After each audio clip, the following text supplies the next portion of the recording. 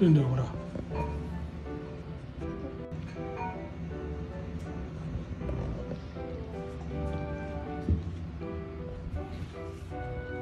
なんなんでしょう？これなんでしょ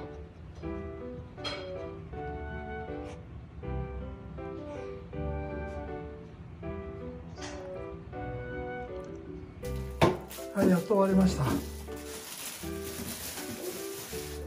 山の栗なんか何年ぶりだねうちで食べるの。美味しい美味しいといいね。この作業が大変で。今年は比較的大きい粒のが手に入ったので。はいあとはお母さんにお任せします。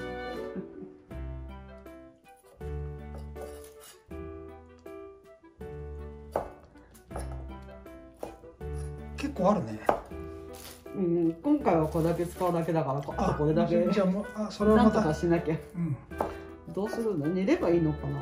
どうやってしやればいい。の毎日食べればいい。え？甘栗っていうから。栗ご飯を毎日食べればいいってこと？あ栗ご飯を毎日食べればいいの？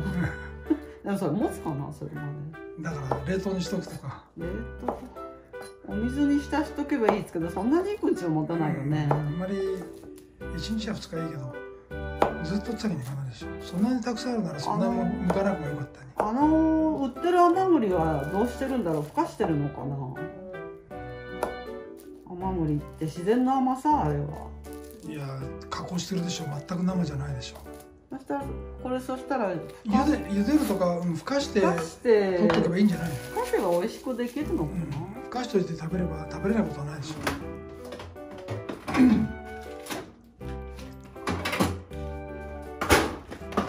よかったねそんなに一回で食べきんねほど。うん。食べきれないのに。